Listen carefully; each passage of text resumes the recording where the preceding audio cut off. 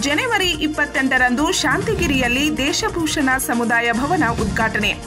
ಭಟ್ಟಾರಕ ಸ್ವಾಮೀಜಿ, ಗಣ್ಯರ ಉಪಸ್ಥಿತಿ.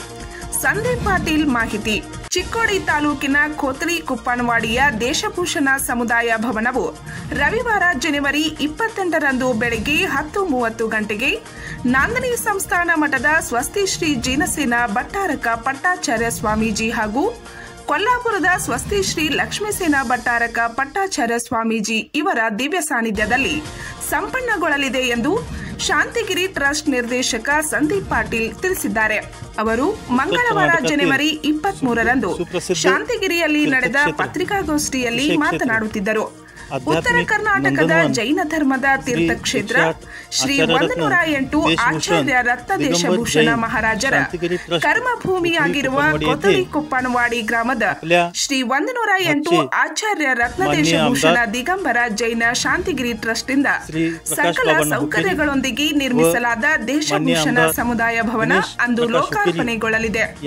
ಈ ಸಮಾರಂಭದಲ್ಲಿ ಉದ್ಘಾಟಕರಾಗಿ ವಿಧಾನ ಪರಿಷತ್ ಸದಸ್ಯರಾದ ಪ್ರಕಾಶ್ ಹುಕ್ಕೇರಿ 頑張ろう ಈ ಸಮುದಾಯ ಭವನ ನಿರ್ಮಾಣಕ್ಕೆ ಶಾಸಕ ಪ್ರಕಾಶ್ ಹುಕ್ಕೇರಿ ಹಾಗೂ ಶಾಸಕ ಗಣೇಶ್ ಹುಕ್ಕೇರಿ ಇವರ ವಿಶೇಷ ಪ್ರಯತ್ನದಿಂದ ಸಂಸದರ ನಿಧಿಯಿಂದ ಇಪ್ಪತ್ತು ಲಕ್ಷ ರೂಪಾಯಿ ಹಾಗೂ ಅಲ್ಪಸಂಖ್ಯಾತರ ಇಲಾಖೆಯಿಂದ ಮೂವತ್ತು ಲಕ್ಷ ರೂಪಾಯಿಗಳನ್ನು ಮಂಜೂರು ಮಾಡಿದ್ದರು.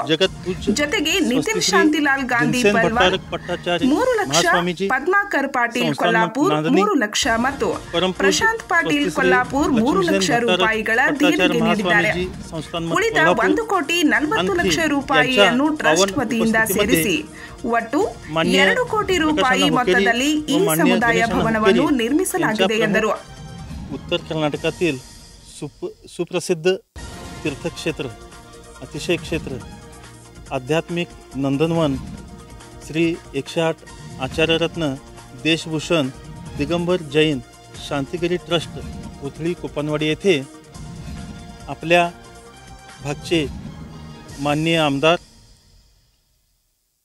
श्री प्रकाश बाबांना हुकेरी व माननीय आमदार गणेश प्रकाश हुकेरी यांच्या व कर्नाटक सरकार यांच्या सहकार्याने आपल्याला येथे जे मागे क्षेत्रावर नूतन बांधलेले श्री देशभूषण समुदाय भवन दिसत आहे याचा लोकार्पण कार्यक्रम दिनांक अठ्ठावीस जानेवारी वीसशे चोवीस रोजी जगद्गुरू जगतपूज्य स्वस्तिश्री जिनसेन भट्टारक पट्टाचार्य महास्वामीजी संस्थान मठ नांदणी परमपूज स्वस्तिश्री लक्ष्मीसेन भट्टारक पट्टाचार्य महास्वामीजी संस्थान मठ कोल्हापूर आणखी यांच्या पावन उपस्थितीमध्ये मान्य प्रकाशांना हुकेरी व मान्य गणेशांना हुकेरी यांच्या प्रमुख उपस्थितीत याचा लोकार्पण कार्यक्रम भव्य प्रमाणात येथे साजरा होणार आहे.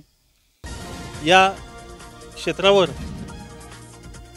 दोन्ही पितापुत्र आमदारांचे अतिशय स अतिशय त्यांचे सौहार्दाचे संबंध राहिले आहेत आणि ते- त्यांच्या प्रयत्नाने आणि त्यांच्या मार्गदर्शनाने या भवनाची निर्मिती झालेली आहे.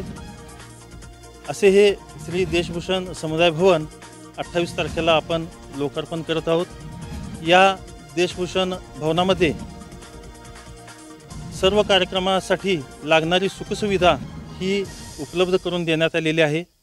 येथे लग्न समारंभ असू दे किंवा सांस्कृतिक कार्यक्रम असू देत किंवा इतर धार्मिक कार्यक्रम असू देत यांचे संपूर्ण नियोजन करण्यासाठी आम्ही येथे तत्पर आहोत.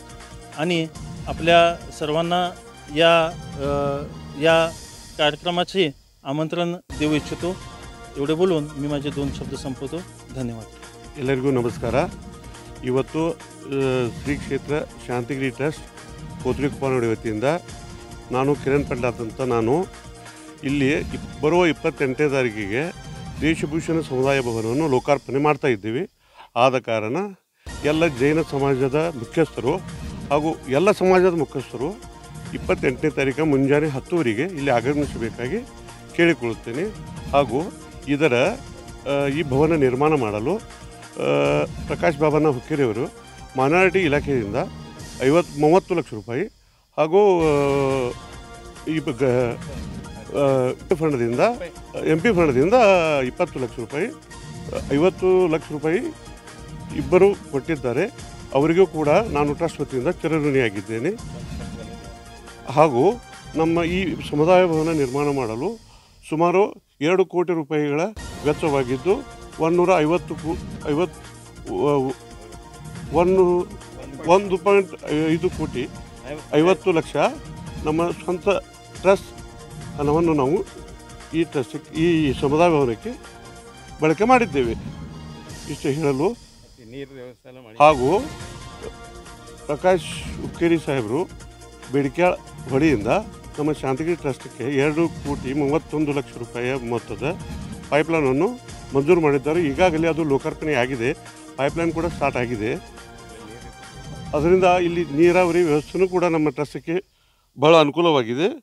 ಇಲ್ಲಿ ಮೂಲಭೂತ ಸೌಕರ್ಯಗಳನ್ನು ಎಲ್ಲವೂ ಕೂಡ ಒದಗಿಸಿದ್ದೀವಿ. ಈ ಹಾಲ್ ನಿರ್ಮಾಣ ಮಾಡಿ ಅದಕ್ಕಾಗಿ ಎಲ್ಲರೂ ಇಲ್ಲೇ ಕಾರ್ಯಕ್ರಮ ಸಾಂಸ್ಕೃತಿಕ ಕಾರ್ಯಕ್ರಮ ಹಾಗೂ ಧಾರ್ಮಿಕ ಕಾರ್ಯಕ್ರಮಗಳನ್ನು ಇಲ್ಲೇ ಮಾಡಬೇಕೆಂದು ನಾನು ನಮ್ಮ ಟ್ರಸ್ಟ್ ವತಿಯಿಂದ ನಾನು ಕೇಳಿಕೊಳ್ಳುತ್ತೇನೆ. ಟ್ರಸ್ಟ್ ಅಧ್ಯಕ್ಷ, ನ್ಯಾಯವಾದಿಗಳಾದ ಪಿ ಆರ್ ಪಾಟೀಲ್ ಅಧ್ಯಕ್ಷತೆ ವಹಿಸಿದ್ದರು.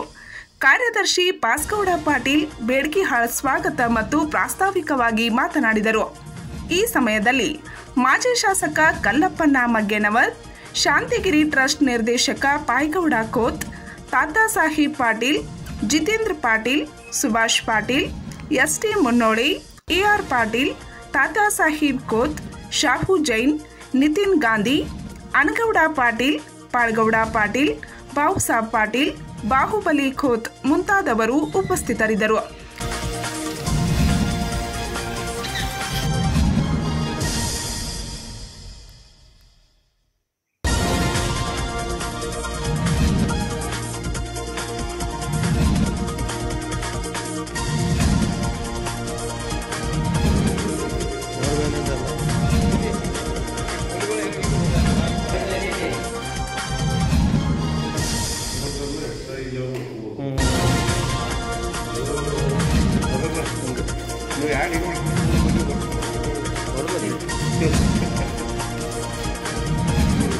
ಪಂಚ್ ನ್ಯೂಸ್ಗಾಗಿ ಶಾಂತಿಗಿರಿಯಿಂದ ಕೃಷ್ಣ ಅರ್ಗೆ